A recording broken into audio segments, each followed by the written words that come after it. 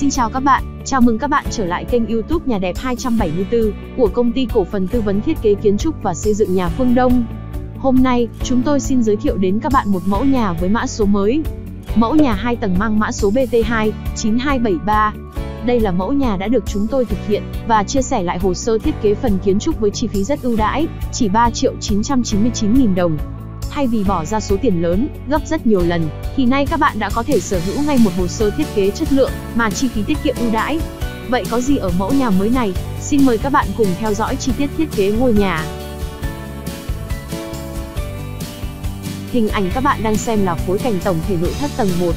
Với kích thước phủ bì chiều rộng là 13,3m, chiều sâu là 12m, Diện tích sử dụng là 240m2 cả hai tầng, trong đó tầng 1 rộng 128m2, tầng 2 rộng 112m2. Ngôi nhà được bố trí với một phòng khách, một phòng thờ, 5 phòng ngủ, một phòng bếp và 3 vệ sinh. Từ sảnh chính bước vào, không gian đầu tiên chúng tôi xin giới thiệu là phòng khách, diện tích khoảng 27m2. Đây là vị trí kê bàn ghế và hướng đặt kệ tivi, không gian rộng thoáng với cửa đi và cửa sổ kích thước lớn.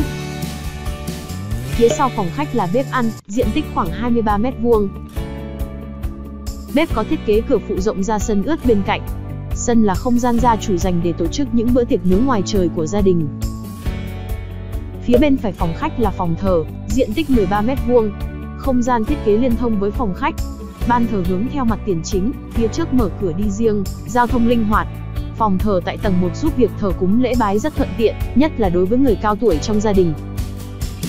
Bên trái nhà là hai phòng ngủ, diện tích 12,5 và 14 m vuông một phòng.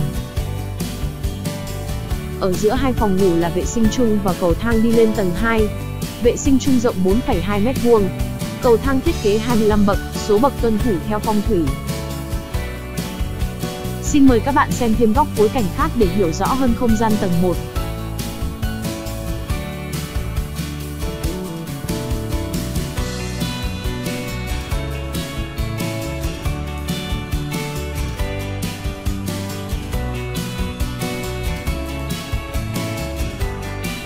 Sau đây, xin mời các bạn theo dõi tiếp không gian tầng 2 do chúng tôi thiết kế.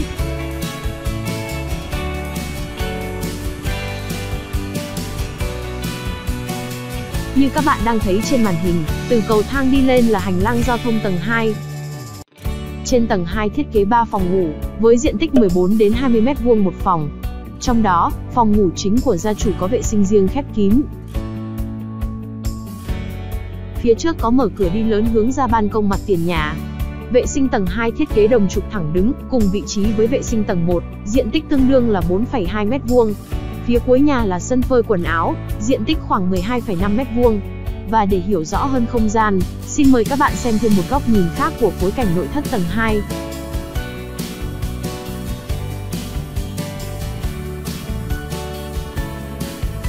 Tổng quan chung, các phòng chức năng của ngôi nhà từ tầng 1 đến tầng 2 được sắp xếp khá hợp lý.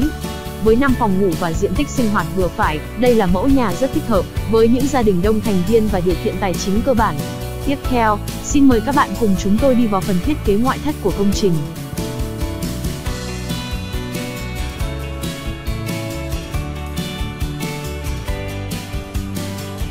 Hình ảnh mà các bạn đang xem là góc phối cảnh chính của ngôi nhà. Ấn tượng đầu tiên của ngôi nhà đó là nét hiện đại, rất thu hút đúng không ạ? Nền nhà được tôn cao 3 bậc khoảng 50 phân. Tầng 1 và tầng 2 sơn màu trắng sứ kết hợp ốp gạch màu huy động, phân vị ngang bằng những đường phò vuông lớn, tạo sự tương phản nổi bật. Hệ cửa ngoại thất được thiết kế với cửa chính là cửa gỗ lim, cửa sổ xung quanh là nhôm hệ màu ghi với pano kính lớn. Mái nhà được thiết kế theo kiểu mái Nhật, lợp ngói tráng men màu huy động, đây là mẫu nhà được chúng tôi dự toán xây dựng ở mức độ trung bình, khoảng 1,8 tỷ đồng. Giá trị thực tế phụ thuộc vào nhiều yếu tố cụ thể, theo từng điều kiện địa phương nên các bạn cần chú ý. Sau đây, xin mời các bạn xem thêm các góc nhìn phối cảnh khác để ngắm tổng quan ngôi nhà.